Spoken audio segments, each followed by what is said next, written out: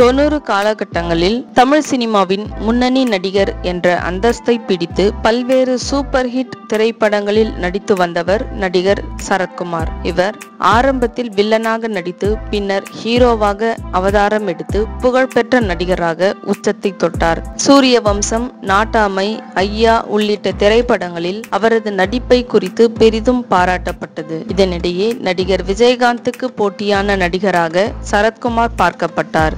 ஆயா என்பவரை ஆயிரத்தி தொள்ளாயிரத்தி எண்பத்தி நான்காம் ஆண்டு திருமணம் செய்து கொண்டார். இவர்களுக்கு பிறந்தவர்தான் வரலட்சுமி சரத்குமார். சரத்குமார் சாயாவுடன் வாழ்ந்து வந்த போதே நடிகை நக்மாவை ரகசியமாக காதலித்து அவருடன் நெருக்கமாக பழகி வந்துள்ளார். நக்மாவுக்கு ஈசிஆரில் பங்களா வாங்கி கொடுத்து அங்கு அவ்வப்போது சென்று நேரம் கழிப்பாராம். இது மனைவி சாயாவுக்கு தெரிய வர சண்டை போட்டு விவாகரத்து செய்துவிட்டு பிரிந்து சென்றுள்ளார். அதன் பின்னர் தான் சரத்குமார் நடிகை ராதிகாவை காதலித்து திருமணம் செய்தார். செய்தாராம் இவரை திருமணம் செய்வதற்கு முன்னர் நடிகை மீனாவை காதலித்து அவரை பெண் கேட்டு சென்றுள்ளார். ஆனால் மீனாவின் அம்மா சரத்குமார் நிறைய நடிகைகளுடன் பழகுவது தெரிந்து பெண் கொடுக்க மாட்டேன் என கூறி அனுப்பிவிட்டாராம். ஆக சரத்குமார் நிஜ வாழ்க்கையில் மாமா குட்டியாக வாழ்ந்து வந்தது தற்போது அம்பலமாகியுள்ளது. இதனை பிரபல பத்திரிகையாளர் செய்யாறு பாலு பேட்டி ஒன்றில் கூறியுள்ளார். இந்த வீடியோ உங்களுக்கு பிடிச்சிருந்தா லைக் பண்ணுங்க ஷேர் பண்ணுங்க கமெண்ட் பண்ணுங்க.